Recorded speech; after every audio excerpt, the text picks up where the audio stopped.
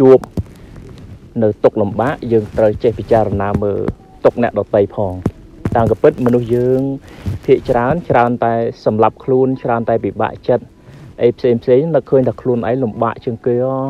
ហ្នឹងហើយខ្លួនឯងនឹងប្រកបជាងគេខ្លួនឯងមិនមានទេខ្លួនឯងគ្មានភ័ព្វគ្មានសំណាងគ្មានវាសនាអីទេ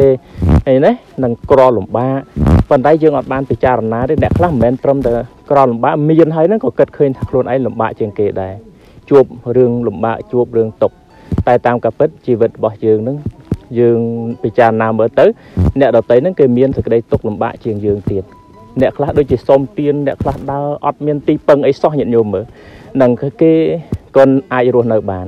តែយើងគាត់ទៅជួបរឿងតិចតួចយើងគិតថាយើងនឹងឯង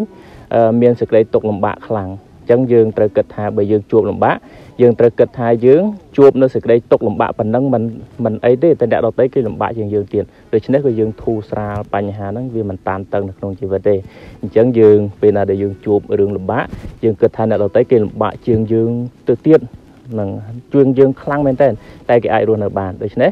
យើងក៏ធ្វើឲ្យជីវិតរឹងមាំដោយមិនប្តេជ្រួលមិនកើតទុកខ្លាំងពេកទេដោយសារតែយើងគិតឃើញថាអ្នកដទៃគេលំបាកគេអាចរស់នៅបានចុះបើថ្មគ្រាន់តែជួបរឿងតិចតួចយើងគិតថាលំបាកយើងអាចរស់នៅបានយ៉ាងម៉េចអញ្ចឹងយើងអាចរស់នៅបានសន្សំសេចក្តីល្អបន្តទៀតណាសូមអនុមោទនា